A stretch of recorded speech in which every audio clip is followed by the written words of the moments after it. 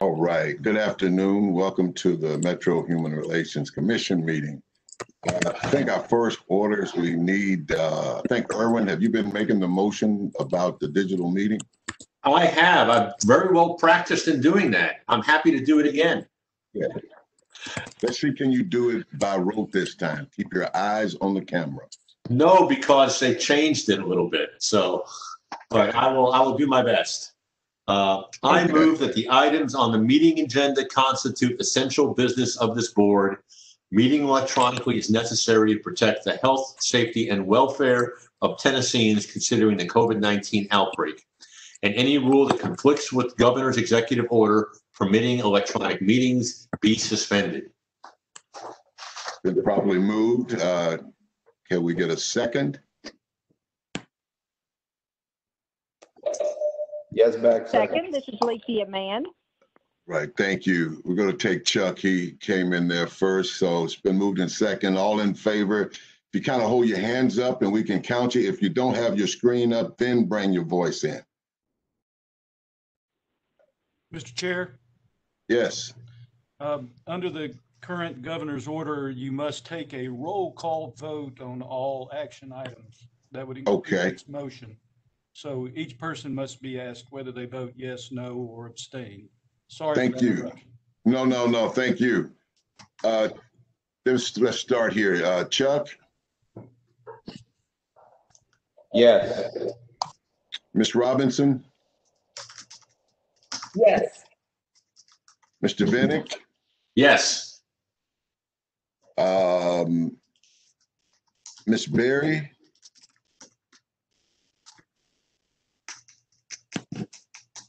I'm here. Mr. No, um, we have, uh, Lethea Mann is on, I don't see her. Yes, she's here. I'm on the phone. Okay. Am I missing anybody? Um, Marissa, Marissa says she's on, but we can't hear her.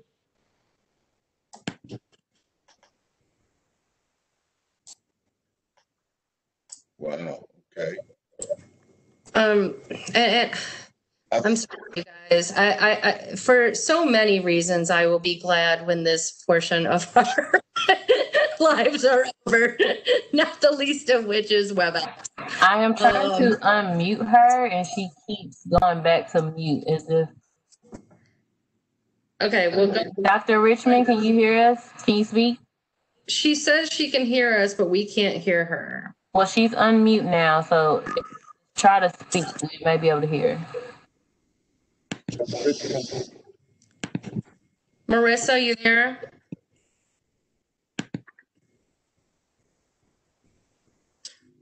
Kenya, can you unmute her?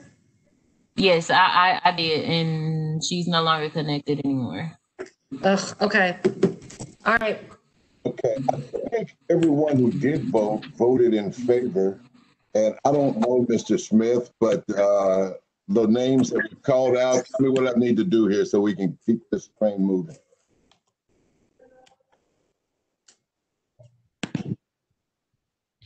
Well, un- under the Roberts rules, uh, the, the majority of the members present and voting would carry the motion. So uh, uh, having heard no nays, already having received, I believe, two or three affirmative votes, um, I believe you could probably continue. Okay, at the uh, advice of counsel, motion carries. And we thank you. Um, So I'm going to give it to you, Mel.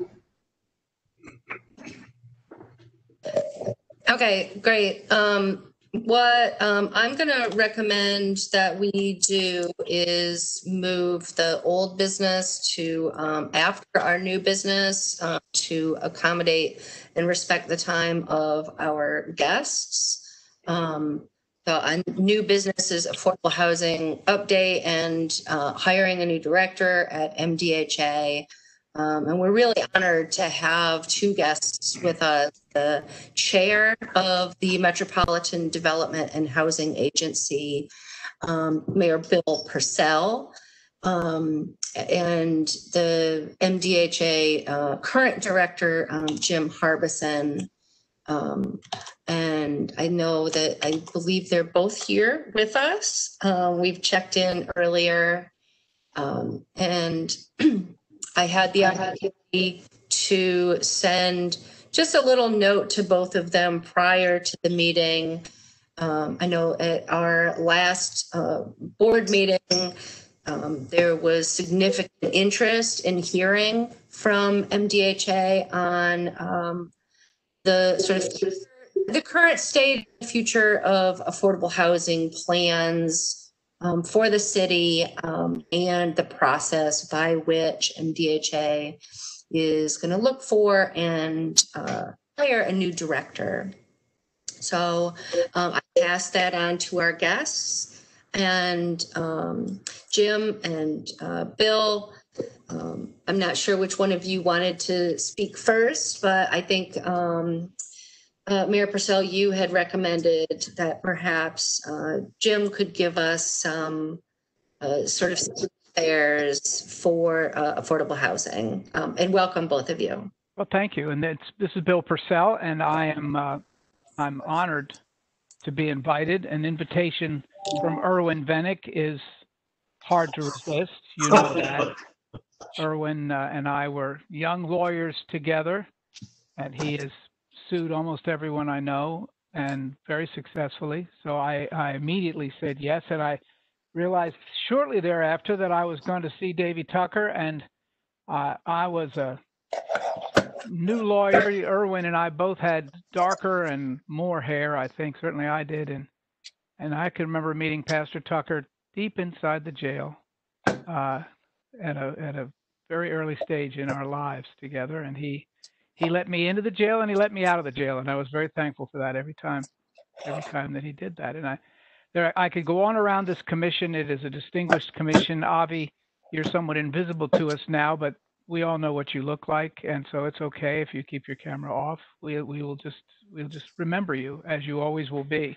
But we also have not just Jim Harbison with us, but we have Will Biggs, uh, and I'm I'm very thankful that Will Biggs joined us at Jim's invitation. Uh, Will is uh, an expert in a lot of what we want to talk about today, and been working uh, for MDHA. And then you've just seen uh, the camera go on for Jamie Berry, who uh, has many responsibilities, but is the, our communications lead. And uh, and I spoke with her earlier today and said basically after after the men get done muddling through this presentation, I'm hopeful that JB Berry will correct anything that we have not clearly stated to you. Uh, and uh, that's been my experience certainly, and I'm I'm honored to be a part of the board there. I came onto the board in uh, December of last year. Uh, I think the members of this commission know that housing uh, had been a particular interest of mine. Now, more than 20 more than 20 years ago, I found myself as a new mayor confronting for the first time a developing consensus in the community of Nashville that we had an affordable housing crisis then. In fact, in the mid to late 90s, there was an acknowledgement that we would not be competitive uh, with uh, cities, and more importantly, we would not meet the needs of our people if we didn't do something about affordable housing. And so I created the first Office of Affordable Housing within the mayor's office. Among the first things that I did, we did a survey early on, an assessment of need, uh, realized then, now two decades ago, that we were uh, somewhere in the neighborhood of 30,000 units short uh, of where we needed to be at that time, uh, and we set to work. Uh, a large part of that was, frankly, the private sector, a large part of that, the nonprofit private sector, and a lot of them were uh, communities of faith, literally of all faiths, came together to work with us first and foremost in terms of the partnerships on preservation of existing units, and the nonprofits were especially effective at that. Uh, the city uh, did uh, its part as we were coming off of, uh, frankly, a rather large investment during the Clinton years in housing broadly. Uh, many of you will recall those were the years in which uh, the Hope 6 uh, funds flowed in significant amounts and allowed us to basically replace nearly half, I think, Jim, of the public housing that had been constructed in the preceding 60 years. Uh, however, that federal commitment changed at that time.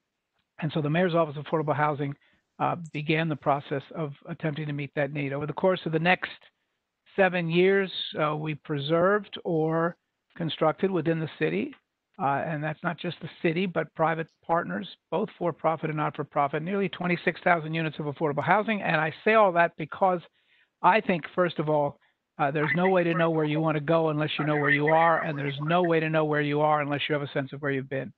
And so the city should remember that we had a challenge, we identified the challenge, and we met that challenge. Uh, it was not, uh, each time is different, and there are obviously uh, pandemics and recessions ahead of us now that are quite different from anything we've experienced before.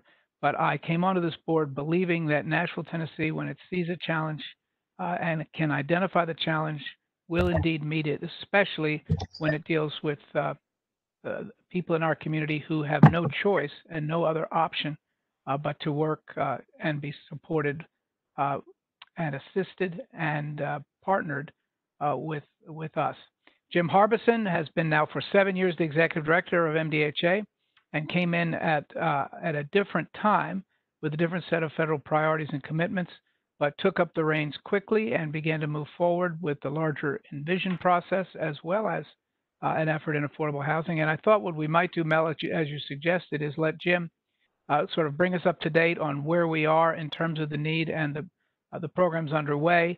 I know that he's going to pivot to uh, Will Biggs and let Will update us as well.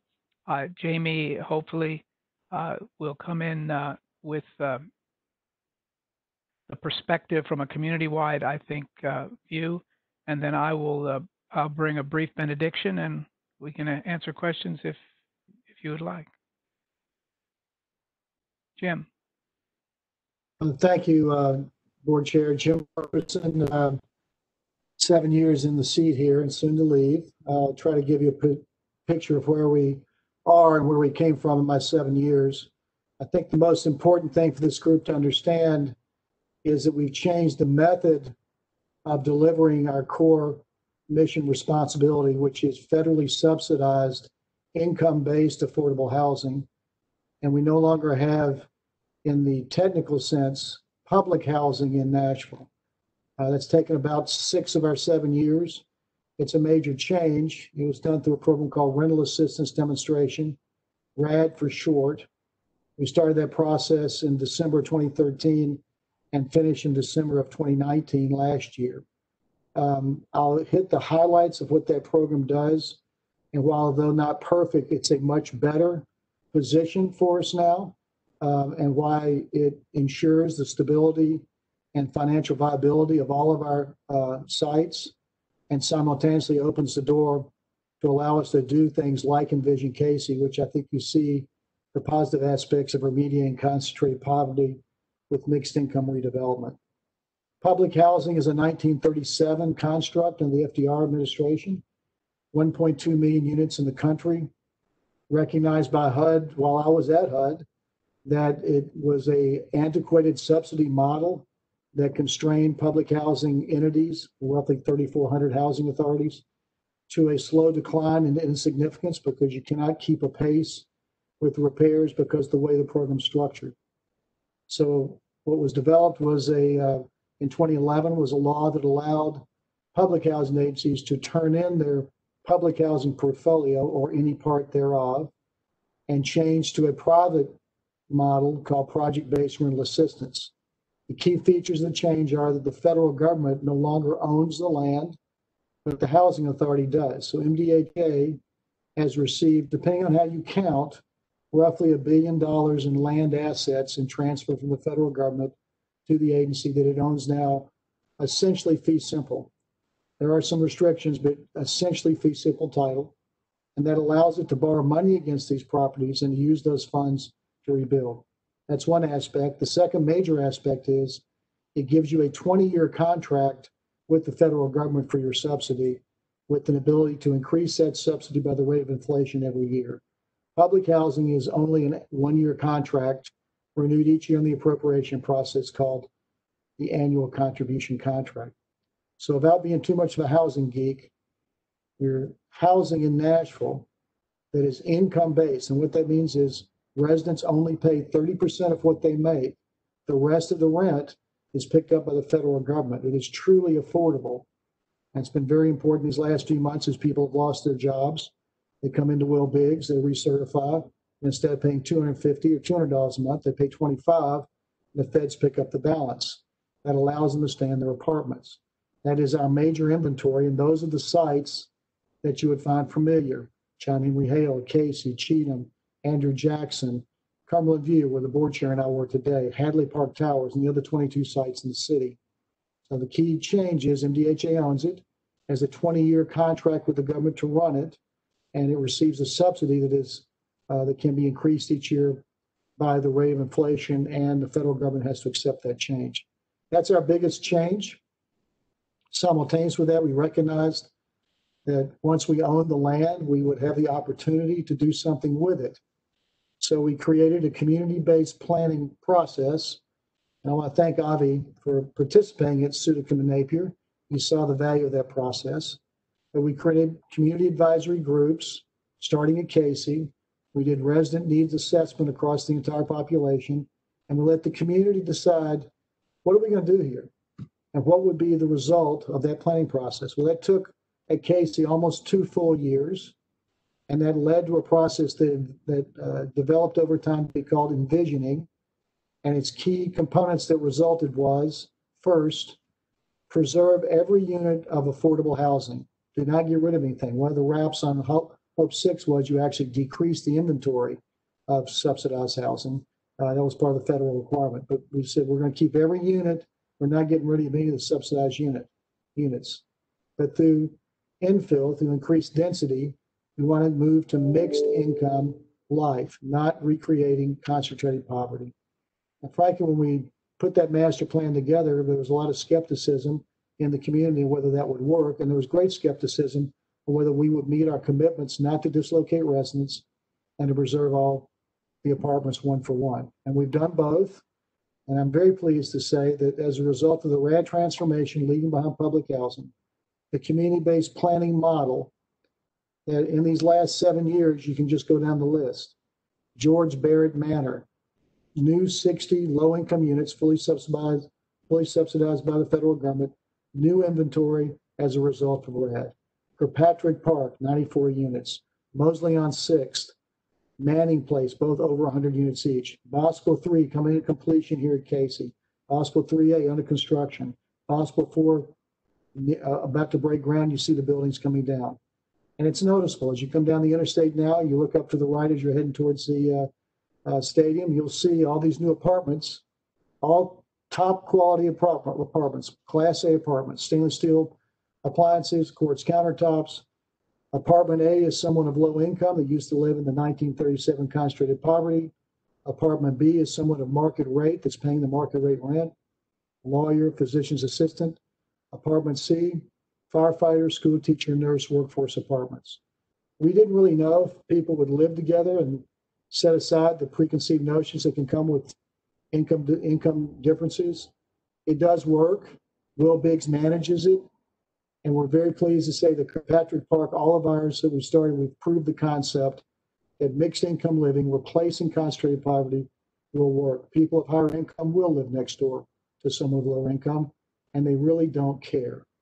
Um, so what we've achieved, I think, over a period of time will be important to the Human Rights Commission, since after air, water, food, shelter is right there as a human need. I think that's why you have such a vested interest in it.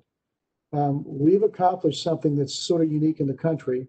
We changed our entire portfolio from an antiquated model to a more modern one, modern one, securing our resources.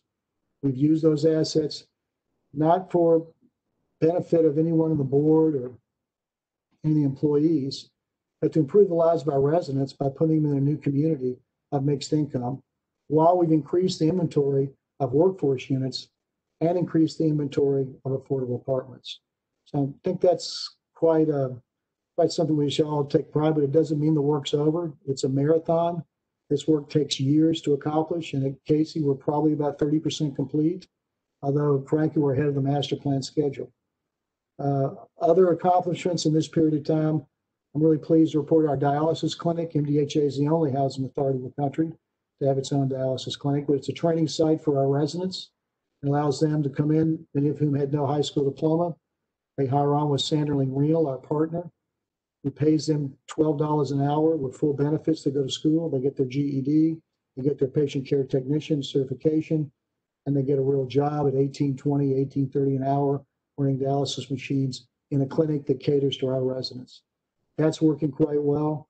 Um, we'll finish Curb Victory Hall, uh, our second uh, dedicated site for homeless veterans. Uh, that ribbon cutting is next week with the help of private donations, low-income housing tax credits, um, support uh, from across the community, um, as well as uh, Harper Cove Flats in Bordeaux, where we uh, have the first workforce new housing in our inventory. So, uh, in short, the rental assistance demonstration stabilized our finances, allowed us to set aside a reserve fund for all capital needs for the next 20 years, allowed us to start a rebuilding process that can extend across the community over a period of time, and sets us in a better place for our residents.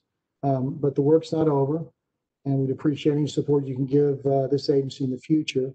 Um, but for me, it's been a very uh, rewarding seven years, and I'd be um, remiss if I didn't say um, it's really not about me, it's about this great staff. And while I might be the present and soon to be the past, the future of MDHA is in its employees and its residents. And one of the ones I'm really proud to introduce is Will Biggs, a friend of mine for quite some time uh, from HUD, and he is one of the many superstars here that will live long past me. Tennessee State graduate, lawyer.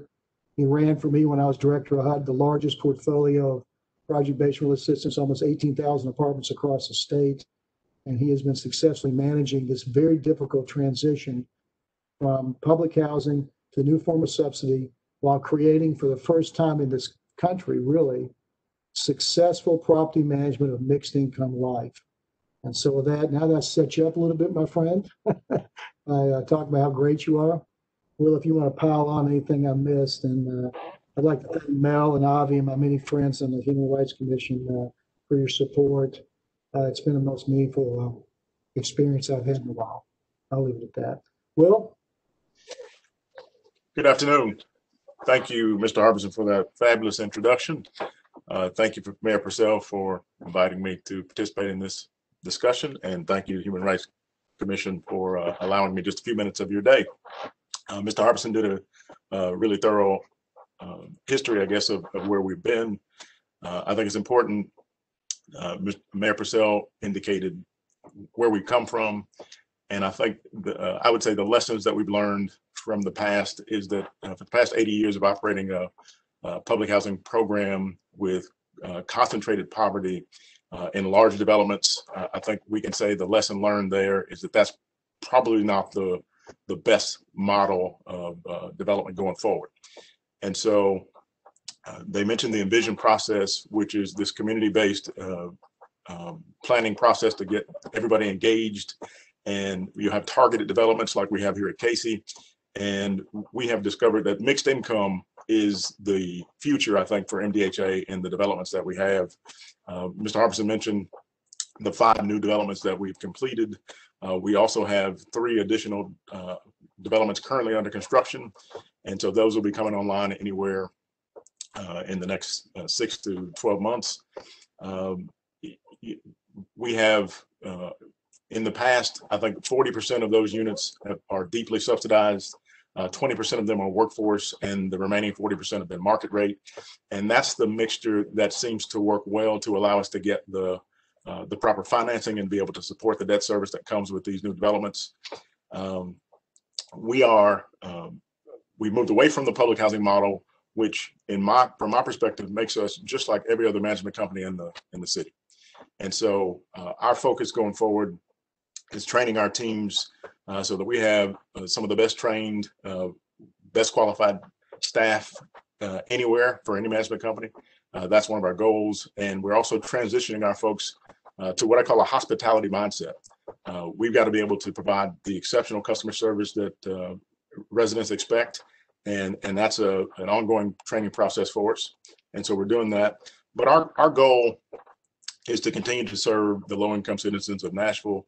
Uh, we understand that that's our mission, even though we're we're venturing into some of the mixed income development and serving uh, some different clientele. Our core mission is to take care of the, the the least of these, the low income families in this city who may not have an opportunity to be housed were it not for our programs. And so uh, that is uh, who we are. We've not forgotten that. Uh, we just we're just expanding the portfolio a bit. And uh, if I had to characterize RAD, Mr. Harbison gave you the detailed explanation. Uh, essentially, what it does is it moves us away from public housing and it transforms us into a conventional property. So we're just like everybody else. Uh, we've got uh, rents and debt service and fixed income and operating expenses, uh, you know, just like any other property community in this town. And so uh, we, we've got to employ the same business principles as everybody else in order to be successful and, and to c- continue to operate these properties uh, in a way that uh, we'll all be proud of them. So uh, I think I'll, I'll stop there pending your questions, but um, thank you for the opportunity to to speak to you and share a little bit about what we're what we've been doing here the last few years. And Jamie, from your perspective, I'd love to just add a few things that I think that we've done that I'm super excited about. Um, we created a pilot in 2016 and we have assisted with 1,446 affordable apartments um, being brought to Nashville, either new affordable apartments or preserving current affordable apartments. And there are currently 2,792 that are under construction under the pilot program. So the pilot program is something that I think um, is something that we always want to talk about because it's such a huge success story. Um, a few other things just worth mentioning. Um, it has been mentioned about Randee Rogers Apartments. That will be opening up next year. And that is 100 mixed income apartments. That is 50 new subsidized units coming to Nashville, as well as the remaining 50 for workforce and market rate. So, again, 50 new subsidized units coming to Nashville, which we're super excited about. Um, 10th and Jefferson, you may remember, opened up a few years ago. That was 54 apartments, and 15 of those were set aside for our Section 8 vouchers. And so the remaining 39 were workforce.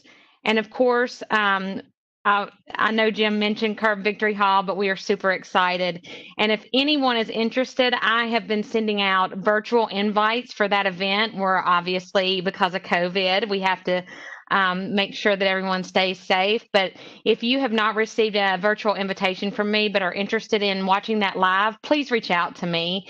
And um, Melody, are you able to send my email out to the group just in case? Okay, perfect. Yes, I'd be happy to do that. Thank you. And then one of the things that we started doing a few years ago, I've been with the agency for about six years, and we recognize that, of course, there's a great need for affordable housing in Nashville.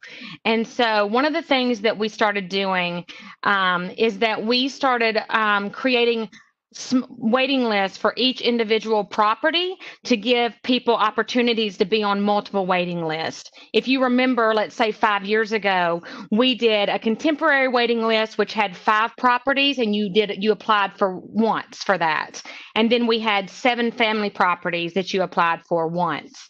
What we've done now is we've basically broken it out to where all of our 21 properties has its own waiting list. And so that way, anyone that is in need of housing can apply for 21 plus waiting list. That doesn't even count our Section 8 and our project based vouchers and things like that. And so we have been actually opening those waiting lists on a period on a very regular basis.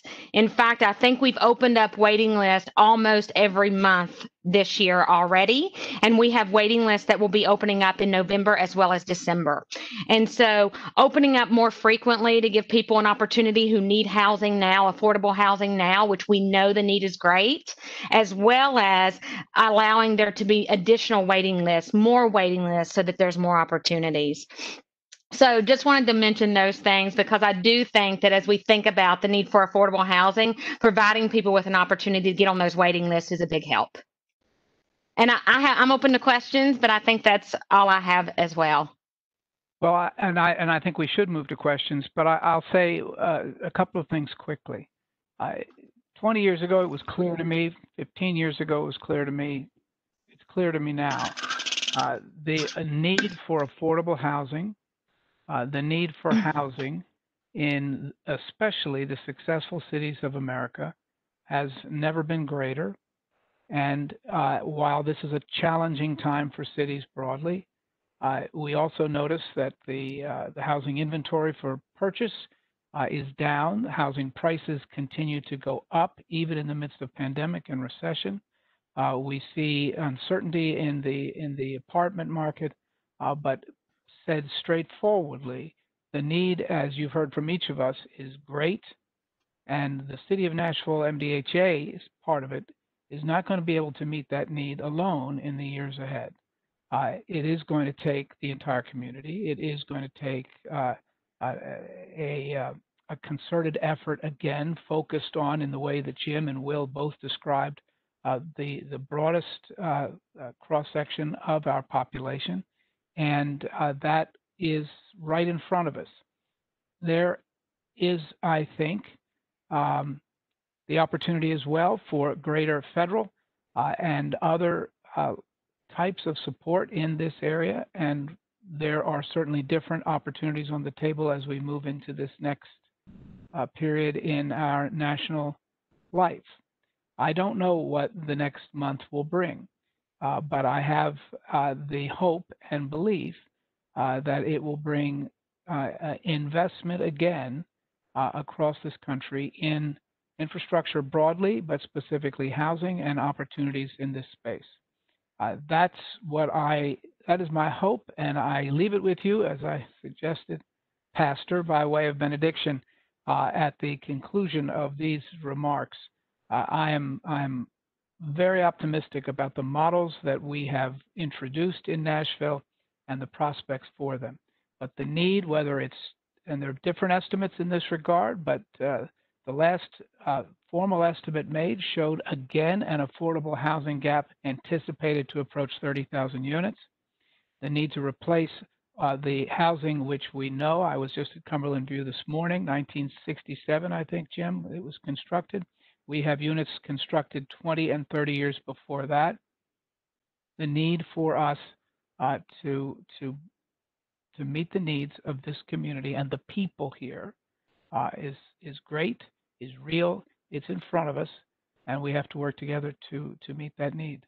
And pending uh, any questions, uh, I join my colleagues in thanking you all for hearing from us, but also for being there all the time, uh, uh year in, year out, uh, mayor to mayor to mayor. They've they've been coming and going a little quicker lately, but uh, the, you, you, you, the Human Relations Commission is there, and Jim Harbison in particular uh, would say uh, that you've been an enormous help to MDHA, uh, especially at, at, times when the community needed to understand and we needed to understand the community. And that at the core of it is why it's so important that you all do what you do. So thank you. Well, thank you so much, Mayor Purcell. Um, it, I want to make sure that our questions about what you've all discussed so far um, before we move to a sort of second um, sort of topic, and that's the the hiring of a new director. Um, but it, commissioners, um, you want to, if you can raise your hand or speak up if you have um, a question.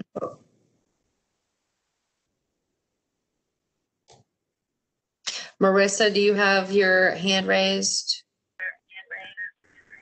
Uh, no, I was just trying to say that I was here, so uh, that uh, I can hear, and so I know if I was having technical problems. I was just alerting you that I'm here. Thank you, and and that's oh, a very nice presentation.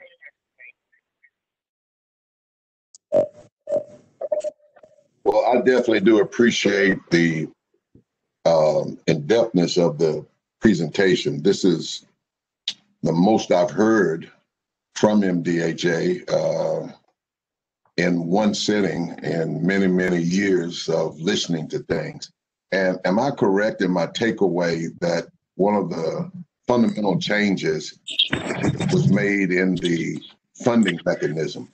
So instead of uh, subsidizing housing coming from the government per se, properties were deeded over to the city that are then leveraged to finance these projects, which would mean that the pace of the work is based on the financial viability of a particular project? Uh, That's uh, partially true. There's a couple of gaps. Uh, So the federal government funds everything. So this is still U.S. Department of Housing and Urban Development money. It just comes in a different appropriation from Congress with different rules. But part of those rules are, you're very correct, and, and I I conveyed that properly, that MDHA, now MDHA is not part of the city, it's a separate entity. It owns the properties, and as Will said, we're, we're having to run a business, but within that business, we can use the land value, just like if you own a home, you want to get a, a new kitchen, you get a home equity loan. We can use the value of the land to bring down a couple of financial assets that were really not available to us before. One is debt, money either conventionally or with HUD insured loans. The other is low income housing tax credits, a tax credit program that's uh, very generous. And that's been our foundation for the new development. So it's still federal money, but the difference is the MDHA board, the MDHA entity uh, owns these parcels uh, with no restrictions on the deed. And because of that, they can go to a bank and use that property uh, as security to borrow money that we, to Will Biggs's good point, we have to pay back by running uh, a good organization. Um, and then the speed of which we're able to do that is really constrained by two factors, in, in my view. Um, one is we have made a commitment not to disadvantage residents, and we hold that close to our heart. So at Cayce, no resident has been put off the property. They've lived here, and as units naturally attrited, we kept them open, which means we took a hit in our business. And that allowed Will, when the time came, to clear out a whole block and move those people in that block, but still remain at Cayce going into an open unit elsewhere. That's how we started the program. Now we're at a tipping point where people are just moving from old to new. So that's really our speed is tenant relocation without disadvantaging residents, combined with the financial aspect. I hope I answered your question. There's a lot of detail there, but I hope I answered your question. Yes, sir, you did. And so I guess my follow-up then would be, under this current structure, um, if you had your druthers, what needs to be done to pick up the pace when you're talking about adding 50, 100, and 150 here? All these are great, but when we know that this need is 30,000. Well, again, I, I, I think I'm the safest one to answer that because I'm a short timer, right? So this is more an opinion. Um, and I think our board chair alluded to that. Um, while we are running as a business, we're not a rich business, right? I mean, every penny that we're able to squeeze out uh, in, in what we call cash flow uh, goes right back in to close loans. So the cash to close loans has been our largest financial shortcoming. And uh, a year ago, a different administration uh, addressed that with uh, with a great promise of largesse of pretty substantial funds that would have greatly accelerated this. So simply put, to answer your question, simply we need cash, and that's why I'm hopeful. And I'll be blunt. I'm hopeful for a change in administration and a commitment to a large infrastructure program and allowing us to get more grants for cash to leverage with our low-income housing tax credits and loans to really pick the pace up. So it's simply cash to close loans from my seat and stand financially.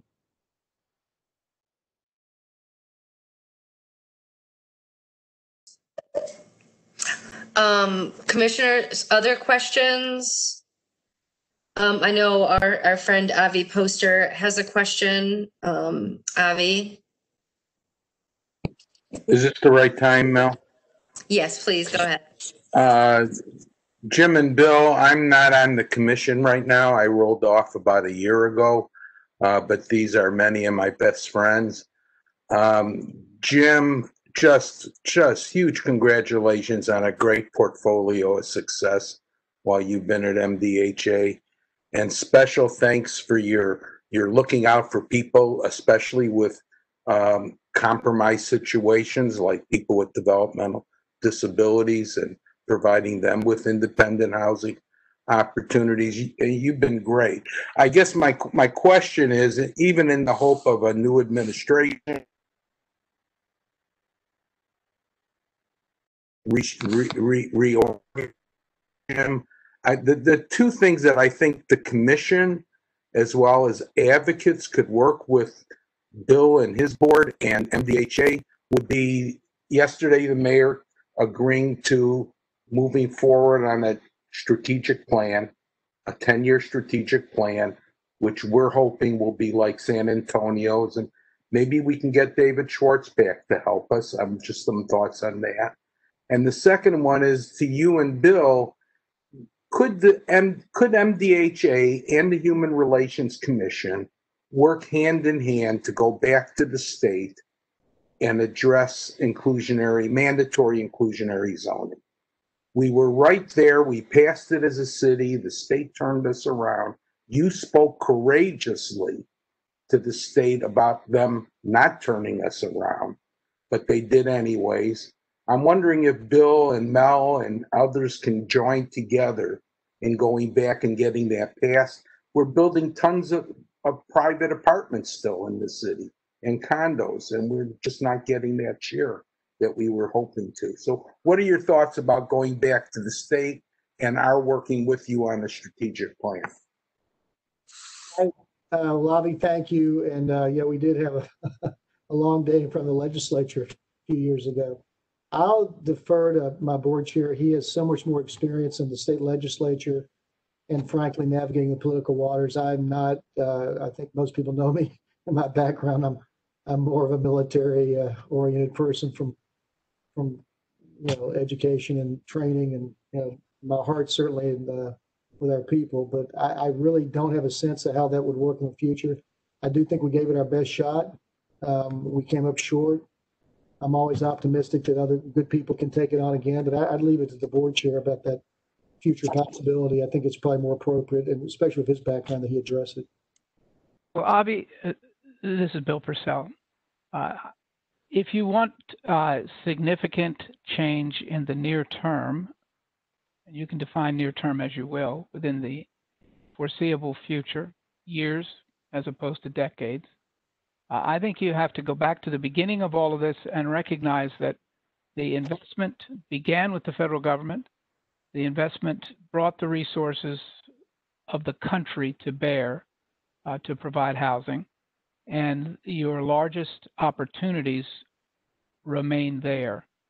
Uh, that was when there was, and it's not 50 years ago, it's 21 years ago and 25 years ago when there was significant federal investment. You were able to move in literally half a dozen, six to eight years. Uh, and it may not be the model anymore that would be your priority or your choice, but with with major federal investment, we were able to move more efficiently, quickly, and successfully than almost any other city, Jim. I think with with making the changes that at that time we thought needed to be made. And I understand that your particular targeted interest in that policy. It will not make the massive changes that uh, that you want in terms of large numbers of transformations.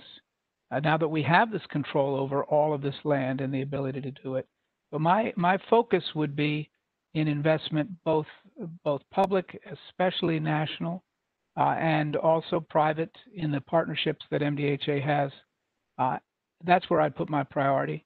Uh, we we that was a tool that was particularly, I think, important at a at a time in our history, uh, but we didn't have it 20 years ago. I'm not sure when we'll have it, if ever, in in the state, and my energy would be directed uh, elsewhere.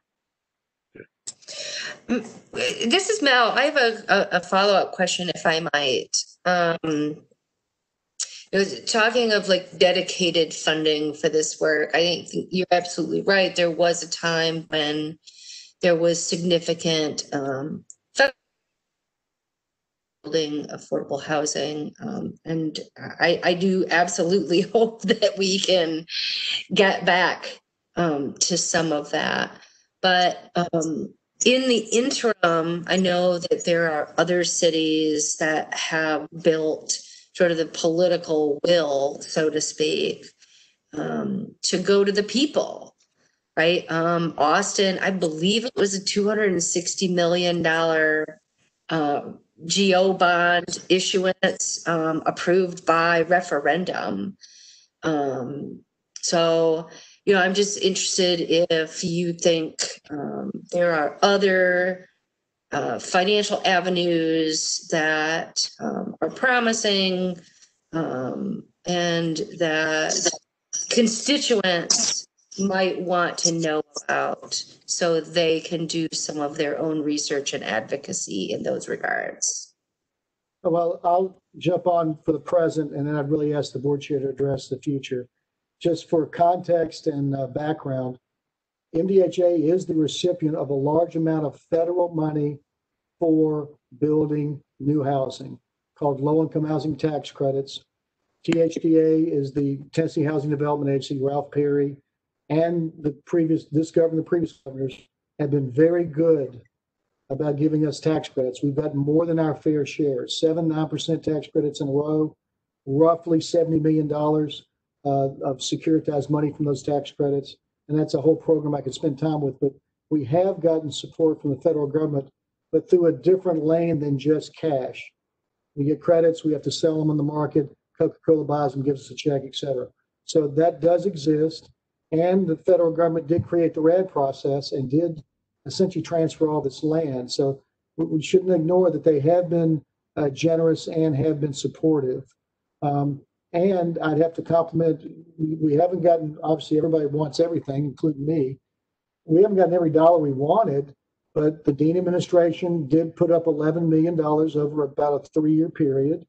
The Barry administration pledged 25 million that the uh, Briley administration actually delivered to us. And the Randee Rogers project on Rosa Parks, in my opinion, again, soon just be private citizen opinion, is the model for how you can do this. You have city money that is the cash that allowed us to close loans in concert with low income housing tax credits and new federal subsidy for the monthly rents to create a whole new mixed income community. And that could be done across I think large across these properties that MDHA uh, now owns outright that are antiquated, Cheatham, Andrew Jackson, Cumberland View, Sudekum Napier, where we have an envision program, Edge Hill. And that could be a real payoff. And those dollars from the city could be leveraged. Now, whether that's possible in the future, I, I think it is because we have evidence, evidence of it in the past that we didn't highlight maybe as we should. We have gotten support from the city, not in the amount I always wanted because I'm always wanting more but they have supported us, and the federal government has supported us. But I think where Mayor Purcell is correct is if you look at the possibilities of the future, there's some real, really great opportunities out there, and that's really his leadership, I think, will be essential in hoping to bring those to bear. I'll leave it to Bill to, to sort of clean up whatever I stepped into. Oh, I, I, I think Mel uh, and everyone on this call, everyone uh, would like dedicated funding for every good thing. Uh, I sometimes, I, my parents, I, for some reason, didn't think of dedicated funding for me. And so uh, here I am at my office right now. Dedicated funding is something that we all would like transit, schools. Uh, there are mechanisms that uh, are available under state law for referendums for increases in the sales tax, which raises a whole other set of issues uh, that I think, uh, in fact, the city of Nashville uh, most recently considered in a referendum. On the other hand, Williamson County, in fact, did raise its sales tax for schools. And they they are known and they are uh, a matter of law and they're a matter, matter of experience. At the end of the day, there's federal money, there's state money, and there's local money. There are resources at each level. There are tax credits, but that's just another way for the federal government to deliver resources uh, to uh, to uh, things that they want to support and fund, to be frank. And then there are opportunities for, for private investment that meets uh, these other needs. As you may recall, Now, at the beginning of this century, uh, we incentivized the construction of uh, uh, both housing, uh, both apartments and condominiums throughout the core. Uh, the Viridian, the Encore, Fifth and Main, uh, the lofts on Second, uh, the Gulch, uh, and Avi will remember those were all incentivized by the city, uh, which in, in the condition was 20% of all the units in each of them were to be affordable. That was a mechanism we used at that time. But at the end of the day, when the great progress has been made, uh, is when uh, as much of those three branches are on the same page about the importance of the issue. They bring the resources to bear in a coordinated way, involve the private sector to support that effort. That's the way this is going to move forward. I'll put one more because I must. Uh, it's not a condition, it's and it's not an asterisk. It's more than that. This is uh, the lowest tax big city in the lowest tax state. And uh, as you know, until last fall, we were in a very, very difficult situation in the city of Nashville. And the council did, I think, not just what the mayor wanted, but what they perceived the city to want them to do. Uh, and in front of us now is uncertainty in that regard. Uh, and so, Avi, if you wanted to know, if you wanted to, you know, a place that you need to focus attention, it is on the prospect that there will be an opportunity for the people of Nashville to weigh in on the things that are most important to them.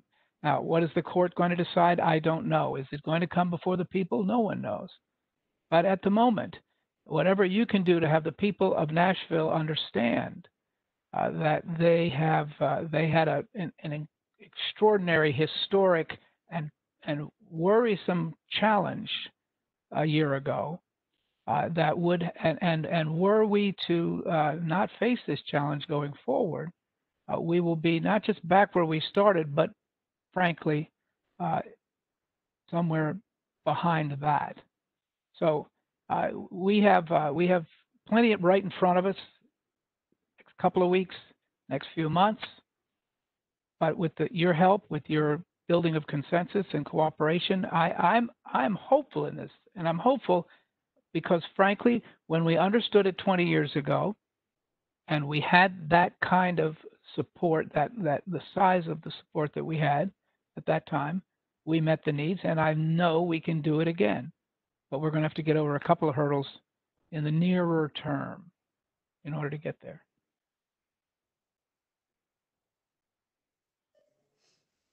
Um, if there are no other questions on that point, um, I know that at our last meeting, um, of the commission, uh, Mayor Purcell, there was some interest in hearing about the, the process by which, um, you, a new director and what kind of community engagement you anticipate around that process. Well, I the I have appointed uh, a group of people, uh, some of whom I think, if not all of whom, will be known to you, uh, to lead us in our transition planning. Cynthia Croom, uh, Dr. Cynthia Croom, who has now run the um, uh, Metro Action Commission for two decades, uh, came to MAC, you may know, from THDA, where she was Director of Development, uh, and so has housing experience as well as obviously 20 years of managing uh, grants and programs that are very much in the space that MDHA does, is the chair of this working group, this transition team. Dot Shell Berry, some of you will know Dot Berry, was the first uh, woman to lead our, uh, uh, to be the Commissioner of Personnel in the state of Tennessee, uh, the first woman of color to be our our own personnel director here in Nashville, and before that ran Metro Social Services during my administration. Has is a member of that committee. Dexter Samuels, uh, Vice President at Meharry Medical College, uh, past chair of the Airport Authority. Hank Helton, who ran the Mayor's Office of Affordable Housing during my administration. And Eileen Beehan, uh, who was the council member for East Nashville, Cayce, and, and uh, Edgefield, uh, and Lockeland Springs, but perhaps more importantly known to you as the person who, who uh, was so important in the leadership of Catholic Charities over many decades, uh, together with Bill Sinclair, her husband. So that's the committee that is that is advising us and thinking about what we did before. Previously, I'm told seven years ago they used the Center for Nonprofit Management uh, to conduct the search uh, involving Jim, uh, and uh, we'll see. I it is I I think it's important, and I'm glad the commission's asking about it because I think it's important that we get it right. Uh, and in my mind, there'll be a, a, transition time. I think that's what they'll recommend to us in an interim, uh, and then we'll move into a uh, into a, a, search process that will, uh, one hopes, uh, involve uh, lots of people. But in the meantime, if you have ideas, people, if you you know if you um, if your mother once told you when you were very young, you know, you would be an outstanding director of MDHA uh, when you grow up. Uh, if there, there's no way for us to know that without you telling us. Mothers don't usually share that broadly. Uh, then you should certainly, you know, advance that notion. Encourage people who are interested uh, to to to make sure they share with us their hopes and dreams for themselves and for the agency. And they can do that by communicating with Cynthia or Dot, Dexter, Hank, or Eileen.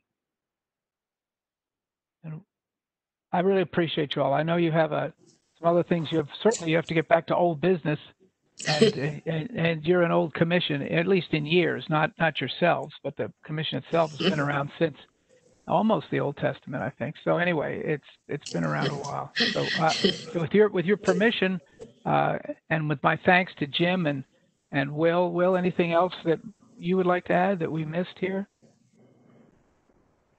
No, sir. I think uh, you guys covered it quite well, and uh, I, I, don't have anything of value I can add to the great comments you already made.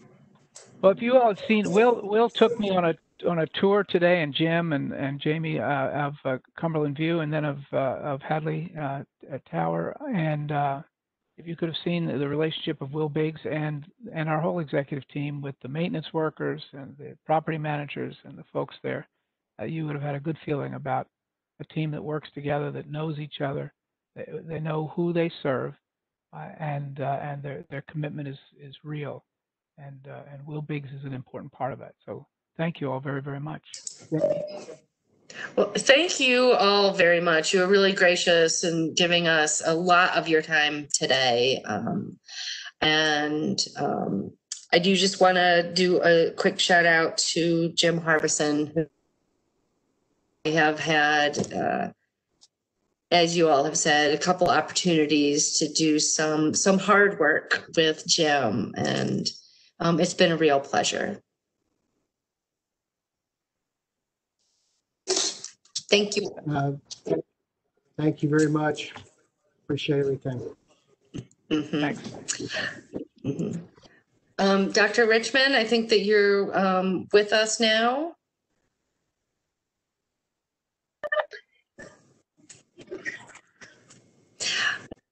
Okay.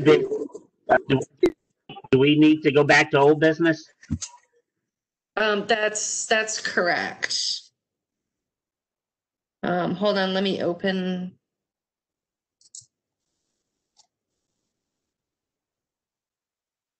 Yes, we actually, um, we skipped both the financial update, um, and old business to accommodate, um, our guests. That case, you uh, go back to the. Um, I, I will just give a, a quick update.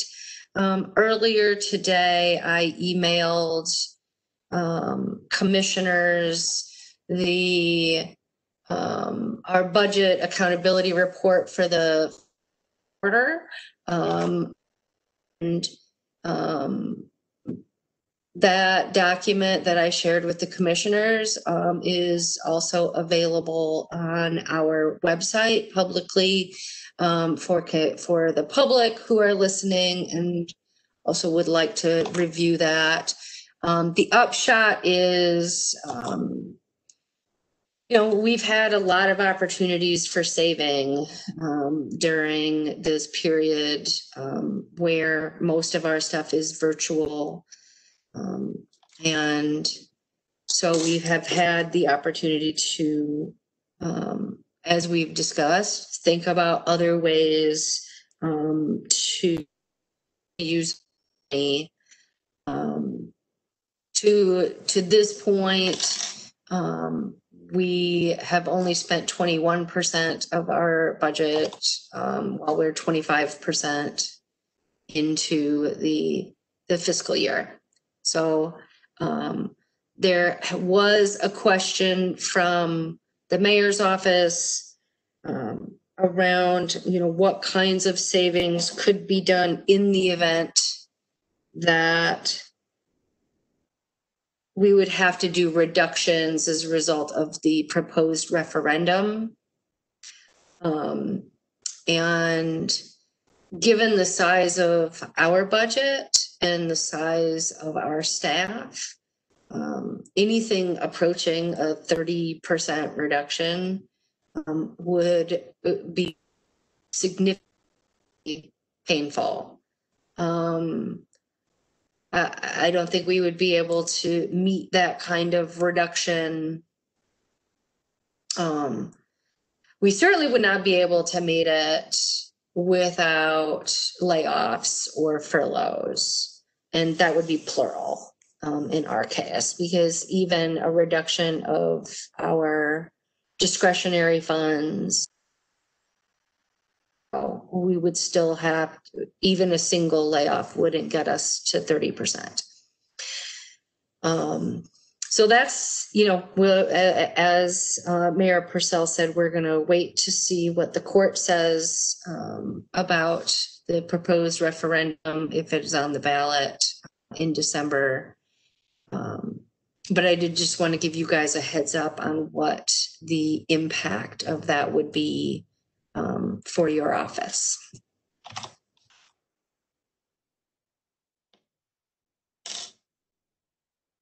Any question from anybody on that?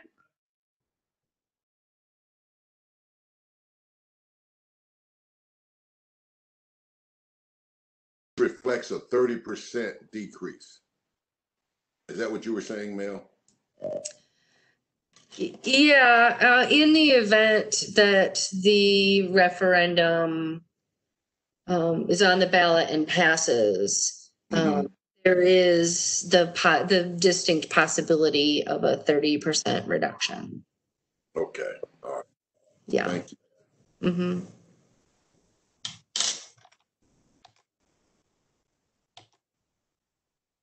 We move on. I was just, uh, just one other question, uh, Commissioner Richmond. Uh, yeah, when is this referendum slated to be heard? What's the, or what's going on with that? What's the timetable on that? So my understanding is that um, the election commission voted to seek a declaratory judgment. Okay. Um, on the constitutionality or the legality of the terms of the uh, referendum as written. Um, to their voting to um, uh, you know, approve it for, um, for a, a special election. So I, I don't, I, I don't think we know the timeline for the court. My, my, it's already been filed and my suspicion is that, um, you know, everyone involved is going to be seeking uh, resolution, um, in court. Um, but if, as it stands, the, the request was to have that referendum, um, up, you know, by the election commission approved for a special election in December. Okay. Um, and so we're just waiting for the court at this point. Thank you. Uh-huh.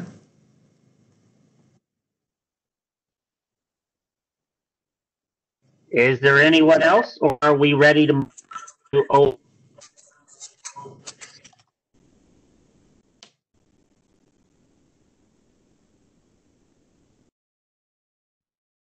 Well, hearing no other questions or comments, let's go to old business, the uh, roadmap or something the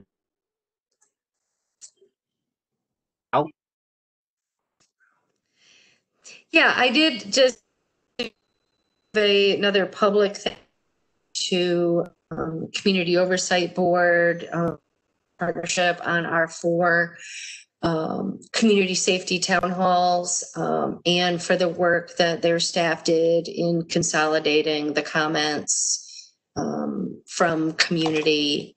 Um, we had a you know really good engagement with the community on those town halls. Um, you know, overall is um, you know it, around you know two at least 200 constituents um, engaged in um, in each one, um, and they're still available uh, on YouTube.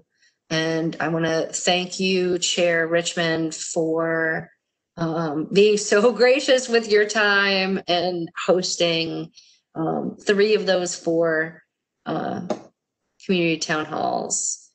Um, and you know we sent a we sent the report both uh, me and uh, Dr. Jill Fitcheard, our uh, director Jill Fitcheard from the COB.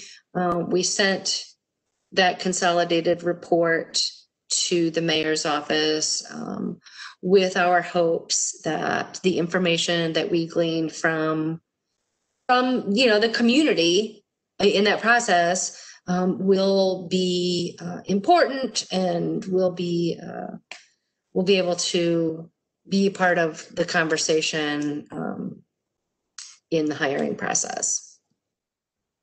I just wanted to know, and, and if there was any questions um, or comments. Um,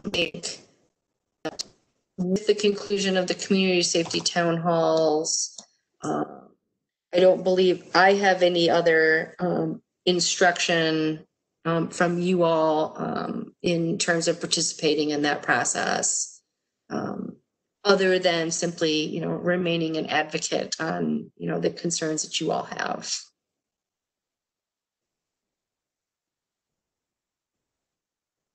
I just want to say, I think it's excellent, great work. It brought another voice to the table.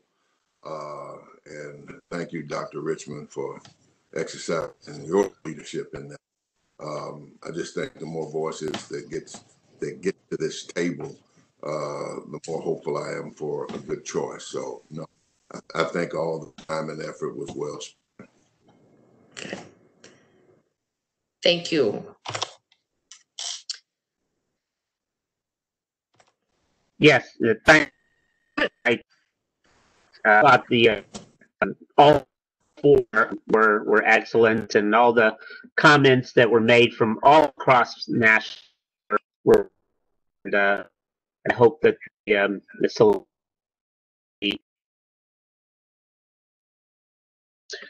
Um,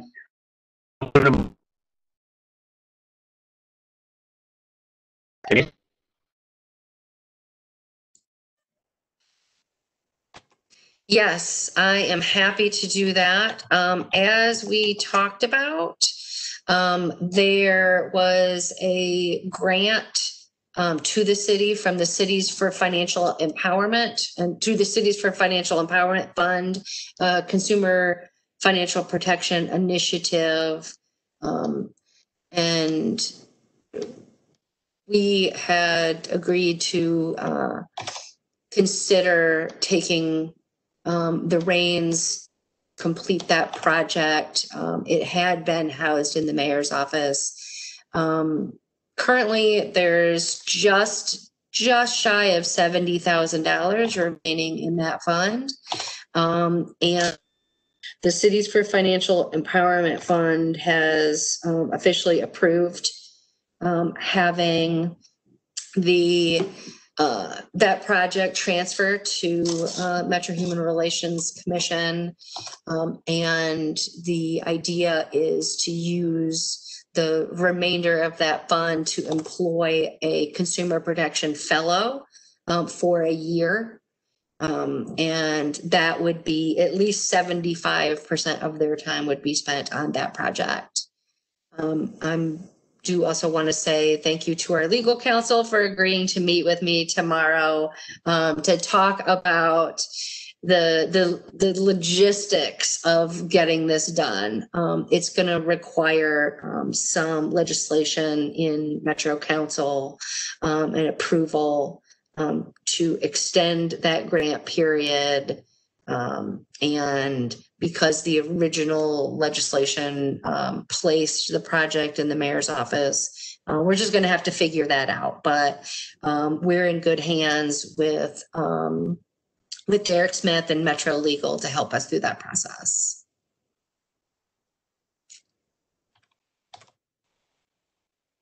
Um, and I didn't know if there were any questions about Thank it. Mel. Look forward to tomorrow's meeting. Good, thank you.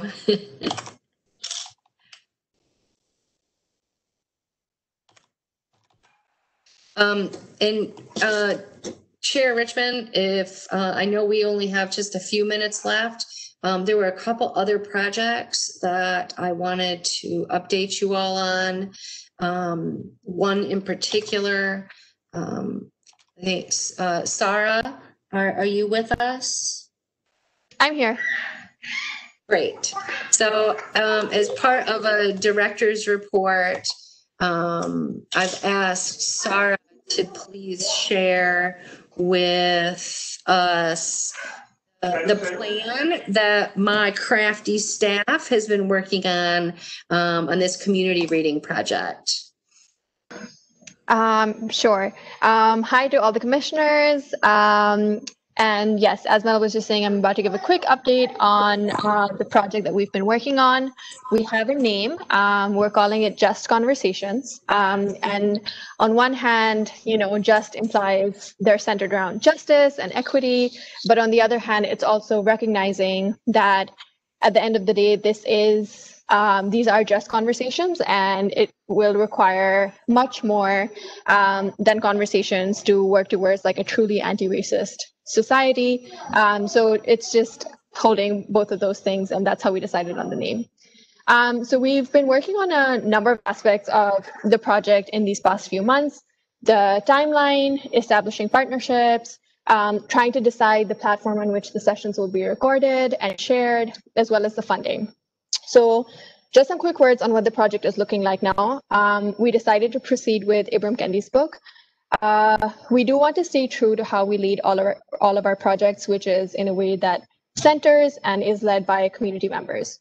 So the way we are doing that is um, book has 18 chapters, and we want to have 18 different conversations, which are each going to be led by different community partners that address anti-racism from different perspectives. Um, regarding partnerships, uh, we have reached out to several community partners, and we now have 18 partners that are on board and very excited about this project. Um, on the topic of platforms, um, initially we really wanted to partner with N- NPT, and we pitched the idea to them. However, they didn't have capacity to take this on right now. So now we're looking to partner with a local production company that will be recording and editing each of the 18 conversations. Um, and then on the topic of funding, we also explore different funding options, um, and we've decided to proceed with the metro procurement process. Um, so we've put out an RFQ, and we are in the process of receiving bids. Um, and all the bids are due at the end of this week, and we'll be making the decision on um, which local production partner we'll be choosing uh, at some point next week. Um, regarding timeline, we're hoping that all of the interviews will be completed uh, sometime mid-November to end November. That's what we're looking at. And then in terms of when we'll be publishing the videos, um, we were thinking because if we're wrapping up the the filming in November, editing will take at least a month. And so we were thinking maybe we'll just wait for MLK Day early next year, um, which is then followed by Black History Month. And so that will make a good time to um, start releasing these videos. So those are some of the quick updates.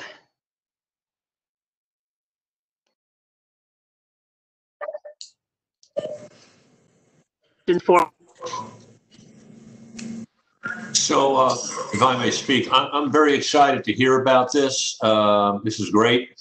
Uh, I just want to remind uh, the commission that Dr. Kendi will be speaking at the Christian Scholars Conference at Lipscomb University in June. And if there's some way to engage uh, this with that project, with that conference, I think it would be a good thing.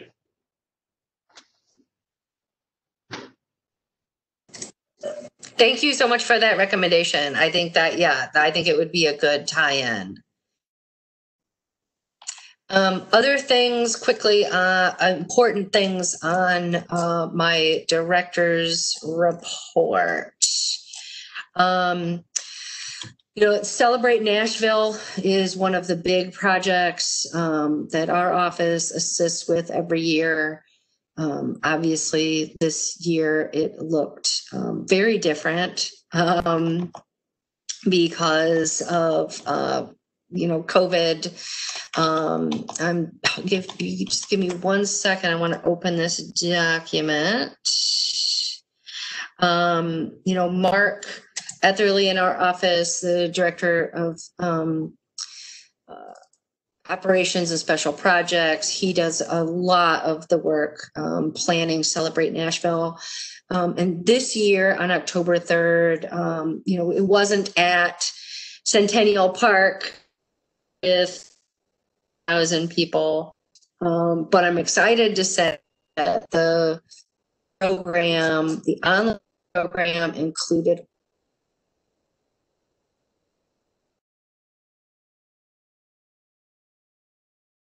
real time uh, live Kurdish language and dance and concerts and um, all kinds of stuff. And overall, um, there was over 130 people engaged in Celebrate Nashville Day through all of the various platforms.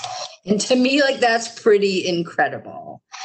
Um, and if you haven't watched the uh, Celebrate Nashville Film Festival movie, um, I, I, really recommend it. It's it's really moving. Um, it will make you it will make you proud of Nashville. Um, so it, I know I've sent that out in and sure that you all um, have a link to that.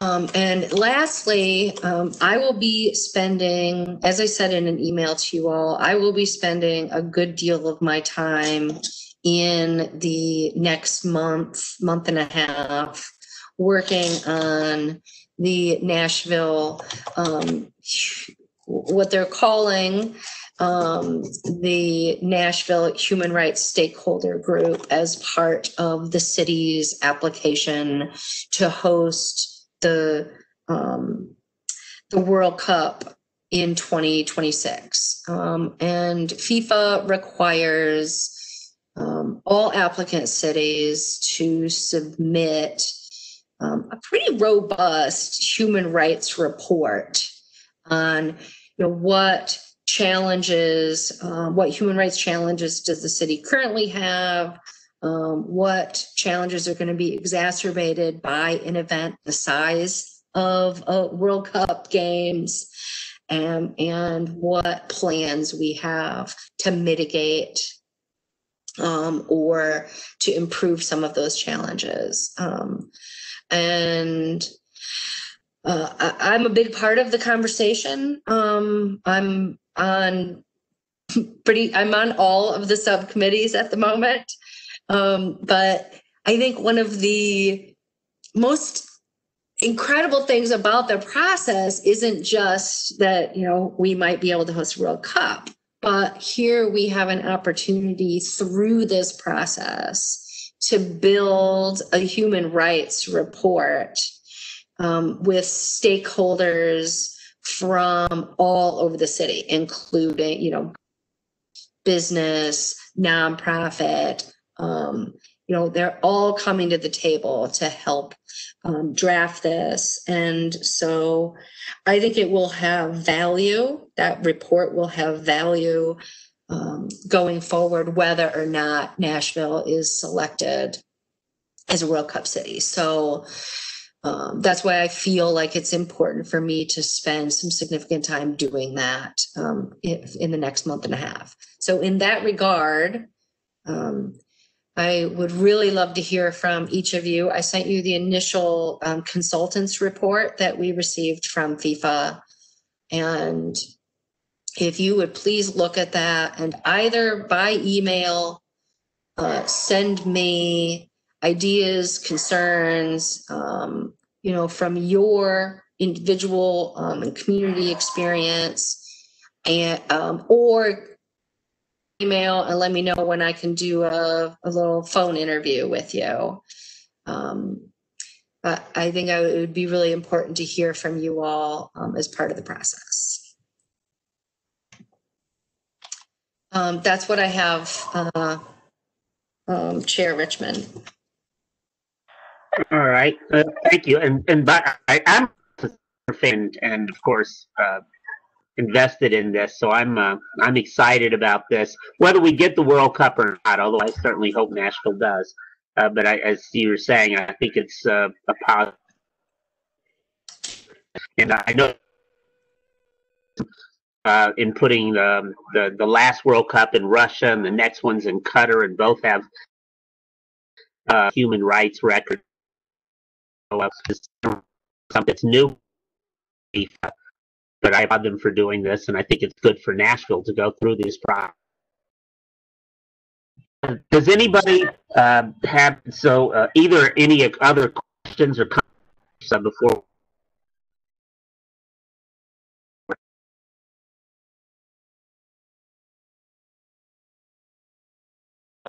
Um, hi, this is Quibi Pretorius. Um, I can I um, wanted to give a shout out to um, Chair Richmond.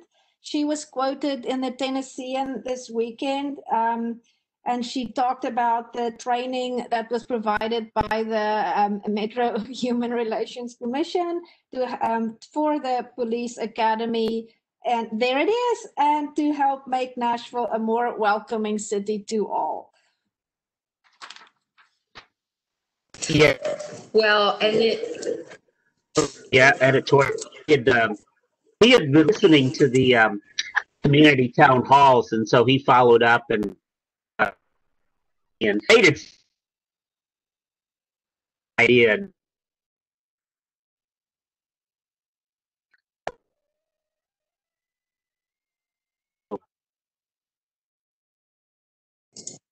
Right. And I, I wanted to say one more thing is if you head on over to the Celebrate Nashville website, um, with all the excitement last month, we were actually the South Africans in town a month ago. We were working on putting together a Jerusalema dance challenge in which it was a song that started in South Africa and just went global during the pandemic. And um, millions of people are taking part in this dance challenge. And we were busy finishing up our Nashville version of the Jerusalema dance challenge when the Celebrate Nashville festival came up. And so we quickly finished it, and I managed to get it on the website and it was part of the Celebrate Nashville um, celebration. So if you, we managed, I don't know, you guys didn't know that the South Africans in town, we have our very own professional Zulu dancer that we wrote in to be part of it. And so he took our performance to the next level. And so we were, were very proud to be part of um, the Celebrate Nashville dance party also. Well, and let me just say thank you so much for that, um, uh, Commissioner Pretorius. And she's been quite busy, you all. Now, I have to give a shout out to her um, to say that uh, Commissioner uh, Pretorius has delivered five carloads clothing and linen, washcloths, hotel soap, diapers, wipes, shoes, all kinds of stuff to the shelter at the fairgrounds. Um, 425 cloth masks, uh, 350 of them um, provided by uh, Commissioner Yazbek. Thanks so much, Chuck. Um, two brand new computers um, and another one do- and and a used computer. Um, and she has driven folks um, from the shelter to go early vote. Um, and all the folks know that Cribby is there um, and is part of the Metro Human Relations Commission. So she's making us all look generous and good. Thank you so, so much. Thank you very much. My goodness. Other announcements, any from anyone? I want to chip in one more time on the topic of people going to the polls.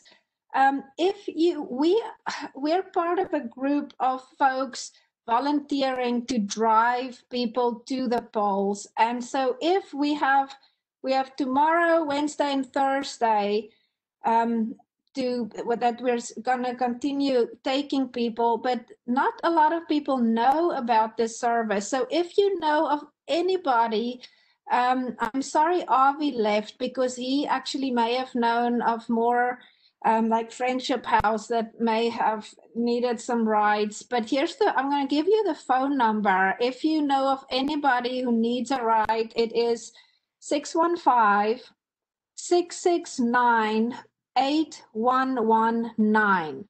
So if you need somebody who needs or know anybody or any place that needs have people that needs rides, please call 669 8119. And, and who's the organization doing this? This this is the um, uh, Davidson County Democratic Party. Okay.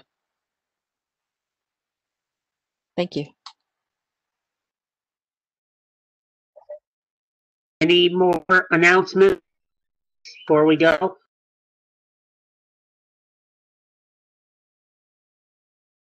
The, the only thing I would add um, uh, is our next meeting is December 7th. Um, and I believe that that's going to be in person unless the governor's executive order has been extended. And I didn't know that, or in the event that the governor does in fact extend um, between now and then.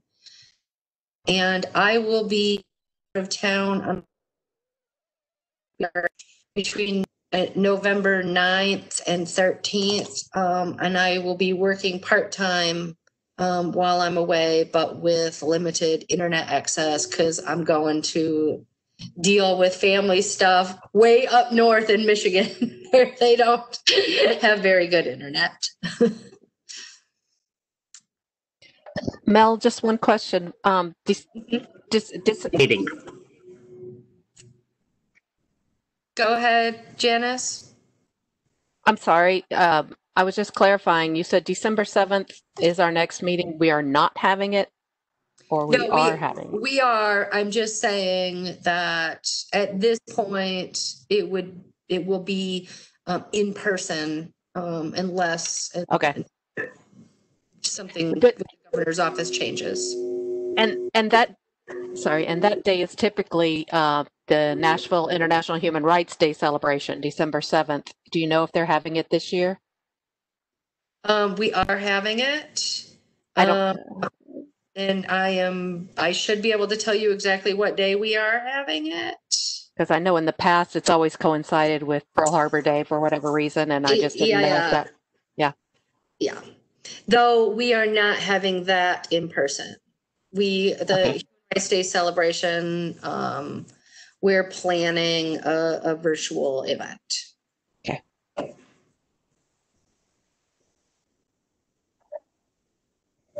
Last call for announcements.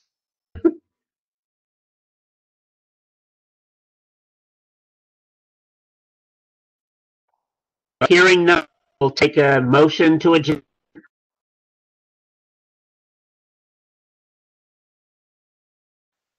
I make a motion to adjourn. Requires a second. Aye. Aye. Aye. Any opposed? I declare us adjourned. Um, Thank you. Thank you. Be well. Thank you, everyone. Thank you.